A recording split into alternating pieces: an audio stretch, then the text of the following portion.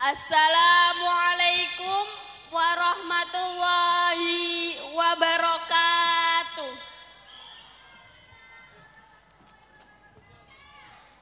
Bismillahirrahmanirrahim. Alhamdulillahirabbil alamin. Wabihi nasta'inu ala umurid dunya waddin. Wassalatu wassalamu ala ashrafil anbiya'i wal mursalin. Sayyidina wa maulana Muhammadin wa ala alihi wa sahbihi ajma'in amma ba'd. Kepada yang terhormat Bapak Kepala Madrasah Aliyah Mataliul Huda Trasa yang terhormat segenap Dewan Juri dan guru-guru dari Madrasah Sanawiyah sampai Madrasah Aliyah yang saya hormati. Dan tak lupa temanku dari kelas 10 sampai kelas 12 yang saya sayangi.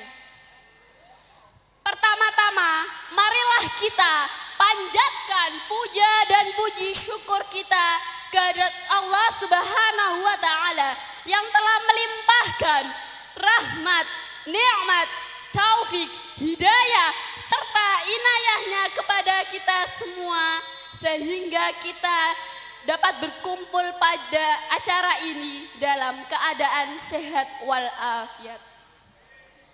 Kedua kalinya, sholawat serta salam tak lupa kita haturkan kepada junjungan kita Nabi Agung, Nabi besar, Nabi Muhammad Sallallahu Alaihi Wasallam yang kita nanti nantikan syafaatnya kelak di hari yaumul akhir. Saya di sini akan mewakili kelas 11 IPS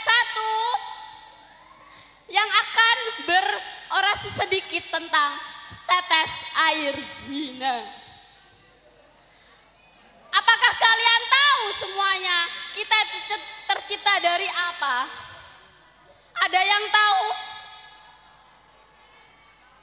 Oh tidak tahu ya saya kasih tahu. Kita itu terbuat dari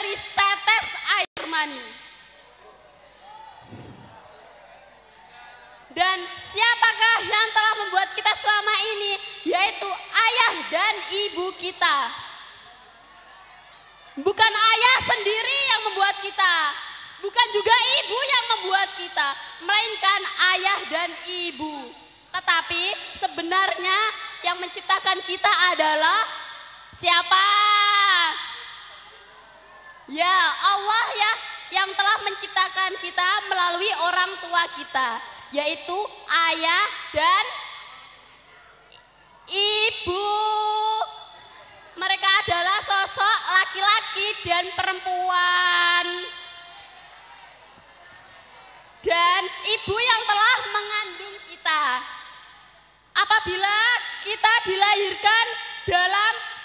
Susah, kita itu jangan mengeluh, kita tetap pasrah kita yakin semua ini adalah cobaan dari Tuhan. Jangan malu, contoh. Ya Allah, kenapa kok aku dilahirkan jadi orang miskin? Kok ada yang kaya? Kita cukup bilang dalam hati saja. Ini memang sudah semua diatur oleh Tuhan dan aku hanya menerimanya saja. Dan begitu juga yang kaya, kalau dilahirkan kaya ya tidak boleh sombong. Kan kesombongan itu hanya milik Allah karena dia mempunyai segalanya. Buat apa kita sombong? Toh yang kita pakai selama ini mobil mewah, kita menempati rumah yang mewah, kita memakai baju yang bagus. Itu itu bukan milik kita. Itu itu tetapi kita diberi kesempatan untuk memakainya.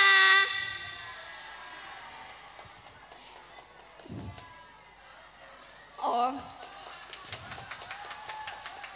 Apabila kita dilahirkan miskin, kita juga tidak boleh mengeluh, kita tidak boleh begini, ah, aku nggak mau ah bergaul dengan orang yang miskin. Jangan minder, karena kita itu semua dilahirkan sama, tidak berbeda. Kita diciptakan oleh Tuhan, tetapi kebedaannya adalah dia kaya dan kita miskin karena semua telah diatur oleh Tuhan. Dan apabila kita kaya, kita juga tidak boleh sombong banget. Contohnya yang ada di masyarakat, kita mempunyai motor baru. Dan kita mencobanya di daerah rumah kita ya, di sekeliling lah gitu kan.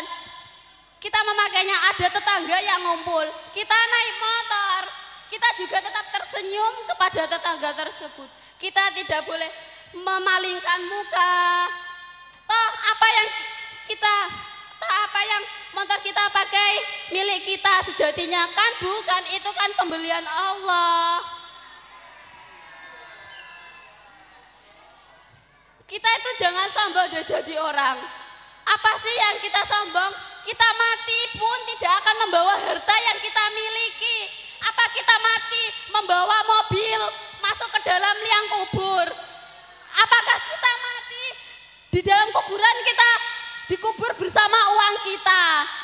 Apa kita mati membawa uang untuk beli es di neraka nanti? Kan bukan. Kita sombongkan selama ini kan berarti kita semua kan keliru. Kita hanya tertipu oleh perhiasan dunia saja. Kita itu tidak boleh sombong ya.